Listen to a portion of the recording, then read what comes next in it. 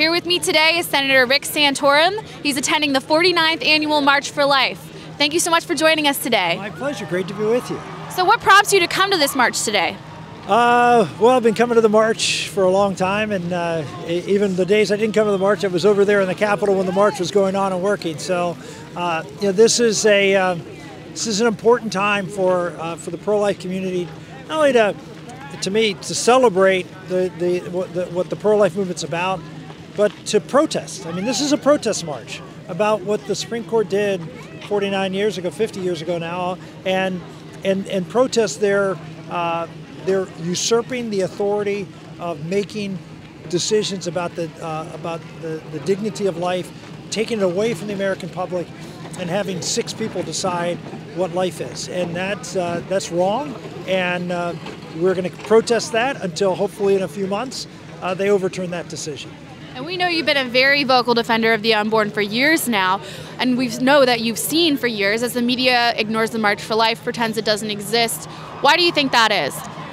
Uh, it's interesting. Uh, you know, I worked for CNN for a few years, and uh, one of the years I've, I've you know, I, I, kept pestering them. And one year, I, I said, you know, you covered this uh, uh, the march after the Trump election uh, with a women's march here in Washington. I said, you know, there's a march in a couple of weeks that's going to be three times the size of the women's march. You aren't even going to cover it.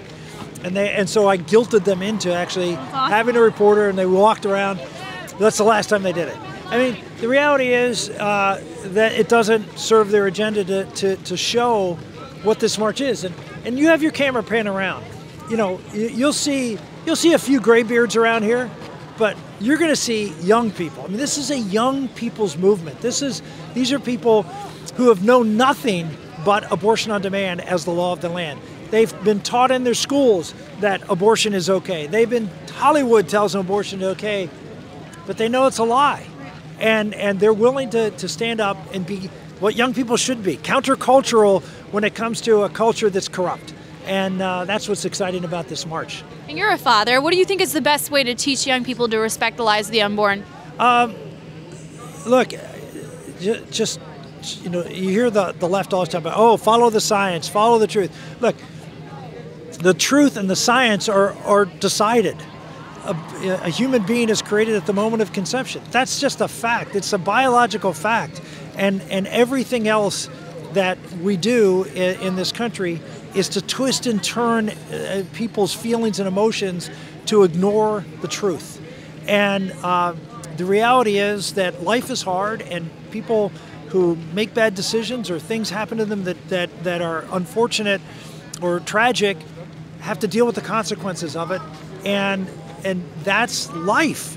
And and and to say that no, we can we can eliminate your hurt and your pain by allowing you to kill your child is a lie.